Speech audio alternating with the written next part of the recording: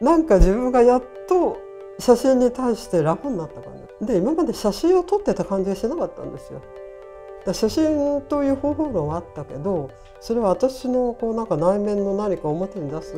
一つの方法としての写真と思ってたけどムービングアウェイはそうじゃなくてなんか写真ってあこうだったのかな？みたいななんかすごくある種自分の何かから離れていく感じ？よしじゃあ自由にやろうみたいな感じで展示します。石内美也子です。とりあえず写真をやってますので写真家ということです。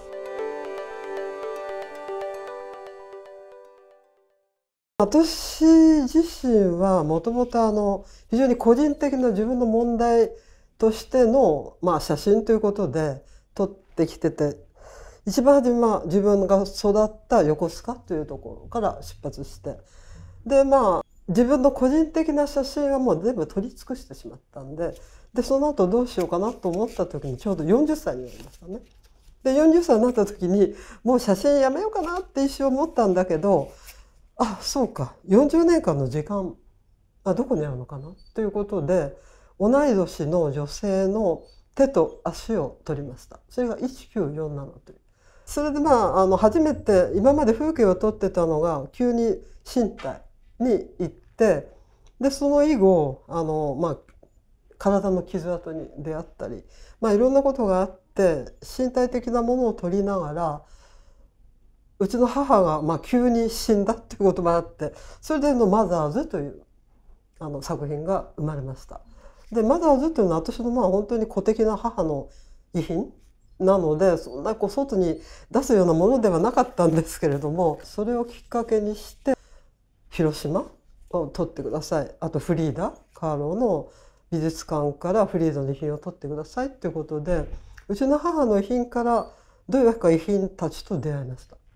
私のテーマじゃないんだけど私自身はそんなにみんなが人が喜ぶようなねなんか写真を見てすごく楽しくなるとかハッピーになるとかそうじゃなくて割と人がなんか避けて通るようななんかこう躊躇するようなものをじっと見たいみたいなものがすごくあってで割とそういうテーマが、まあ、広島にもつながるしドローンドにもつながるし今までやってきた傷跡にもつながってくるかなという、まあ、そういう写真を撮ってます。で私自身は自分のセルフポートレートは撮ってないの。風景撮っても遺品撮っても何撮っても全部自分の照り返しだと思ってたからわざわざ自分自身を撮る必要はなかったんですよ。でもまあ偶然その今まで43年使っていた暗室も含めて引っ越すことにしちゃったんでだから暗室から周囲1キロを回ってなんか非常に私としては珍しくあのスナップショットを。でその中で自分の手と足？まあ自分で撮る。こういうふうにして。でそういう形で、まあ、ムービングアウェイという。それを撮った時にねすごく今まで私の写真って結構、まあ、テーマが重くはないけど割といろいろ軽い感じではないものが初めてあなんかすごく撮ってて楽しかったの。で引っ越すってことに関してなんか暗室ももうさおささようならみたいな感じもあったしで私自身があのロールプリントをやってましたからでっかいプリントも自分で焼いてたんででそういうことはもう多分できないなとだから一つ時代が終わったなみたいな感じで撮ったのが今回のムービングアウェイなんです。だからねあの古いものは捨ててよしこれから新しい世界に行くぞみたいなそういうことも含めてすごく楽しく珍しく私にとってはなんか気楽っていうんじゃないけどなんかうん自分自身がほらあのカーブミラーでいっぱい映ってるんですけど それは私のまあ言ってみれば風景との関係性も含めて毎日歩いてたところなんであえて初めて自分に向けるカメラをというような写真です。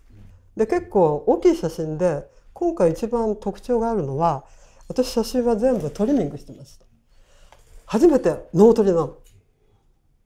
うん、35ミリをノートリミングは初めての写真なの。それもなんかちょっと、うん、新しいことやろうかなと思ってで壁に直張り？直接貼る？っていうことも含めてなんか写真のある種原点に戻るみたいなねそういう感じもちょっとあるかな。